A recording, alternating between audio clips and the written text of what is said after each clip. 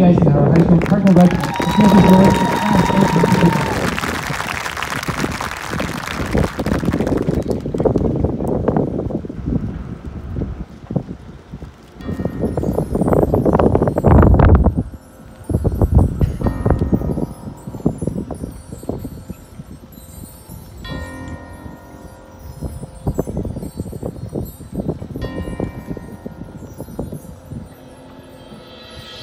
Story of the four horses is told by John in the book of Revelation.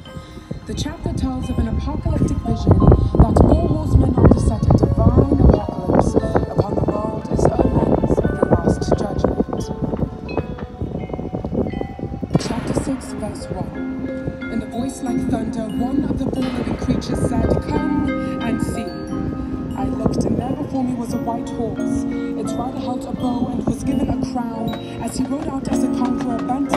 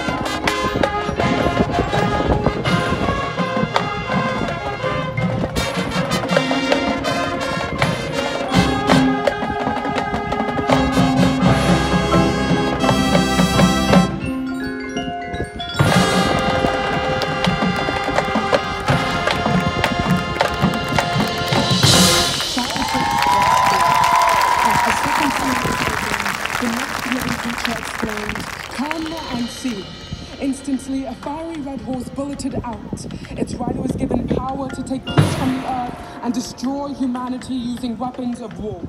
To him was given a large sword.